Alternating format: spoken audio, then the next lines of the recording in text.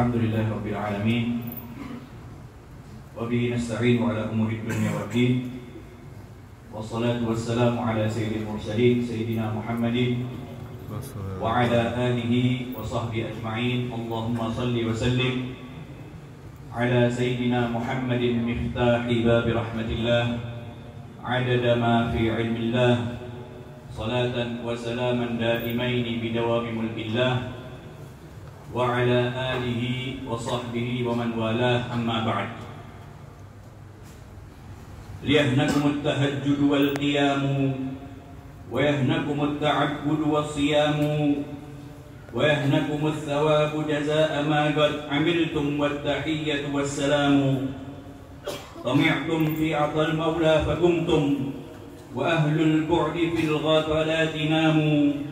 فحاشا من طمعتم في عطاه يخيف ظنكم والجود عام. له المن الجزيل عليكم إذ أقامكم وغيركم نيام. الحمد لله. الحمد لله atas kenikmatan yang telah Allah berikan kepada kita semua. Yang mana Allah subhanahu wa ta'ala telah memberikan kepada kita semua taufik dan juga hidayahnya. Sehingga kita kumpul bersama-sama di tempat yang mulia ini. Di waktu yang mulia ini Tujuan kita untuk menggapai dan juga mengharapkan keridhaan Allah subhanahu wa ta'ala. Amin. Al-Habib Ali di dalam qasidahnya tadi mengatakan Sungguh beruntung kalian.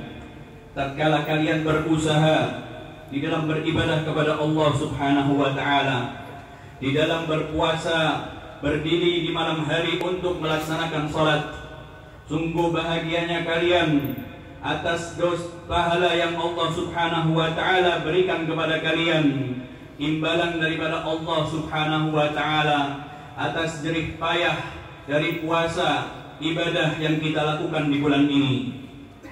Yang mana Al Habib Ali katakan tadi di dalam qasidahnya, "Tami'tum fi aqal maula fagumtum."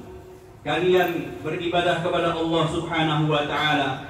Kalian mendekatkan diri kepada Allah Subhanahu wa taala karena kalian ingin mendapatkan pahala daripada Allah Subhanahu wa taala karena kalian ingin mendapatkan daripada pemberian-pemberian Allah Subhanahu wa taala sedangkan mereka orang-orang yang dijauhkan oleh Allah Subhanahu wa taala orang-orang yang lalai mereka semua tidak seperti kita.